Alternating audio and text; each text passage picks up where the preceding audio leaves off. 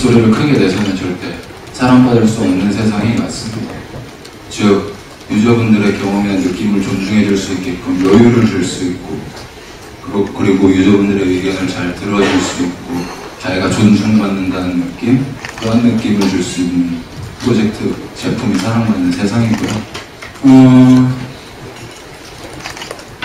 네, 그래서 스케일포스트를 개발하면서 가장 중점적으로 뒀던 건 무의식적인 탐구부터 시작을 했지만 어디까지나 저희는 유저분들을 어느 방향으로 일방향적으로 컨트롤하거나 제한할 수 있다고 생각하고 있지 않습니다. 기본적인 근본적인 게임의 재미를 느낄 수 있는 운동장을 만들어 드릴 뿐이고요. 그 안에서 유저분들이 어떻게 느끼실지는 유저분들의 몫이라고 생각을 합니다.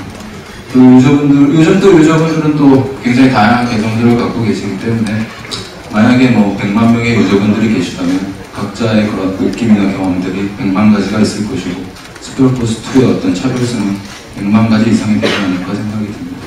배신이라는 것이 뭐 거의 게임 비슷하게 누가 똑같이 나오고 그런 게 아니라 저희가 스카토스 오늘 서비스하고 만들면서 있었던 모든 경험과 노하우가 바로 다 접목된 게 저는 그게 바로 진짜 배신이라고 그리고 뭐 다른 개발사 다른 게임에서 만들 수 있는 게 때문에 저희 스카토스 원을 만들던 개발진들 그 노하우 경험이 다 스카토스 노하우가 그게 바로 배신이라고 어, 일단 FPS라는 장르 자체에 있어서는 저희가 다작을 이제 보유를 하고 향후 이제 서비스를 해 나가게 되겠지만 사실 이 FPS라는 게 큰 그림에서는 같은 맥락을 보여주고 있지만 그 디테일한 그 재미나 그 표현해주는 방식 자체에서는 굉장히 많이 차이가 있을 수 있고요. 그리고 뭐 약간의 경쟁이나 이런 부분에 대한 그 질문을 주셨는데 사실 FPS가 굉장히 많은, 많은 걸로 인해서 굉장히 큰 장점이 두 가지가 있고요. 첫 번째로는 일단 그 웬만별 그 유저 회원분들께 굉장히 다양한 본인의 취향에 맞는 그 FPS를 선택하실 수 있는 그런 기회를 드릴 수가 있을 것 같고요.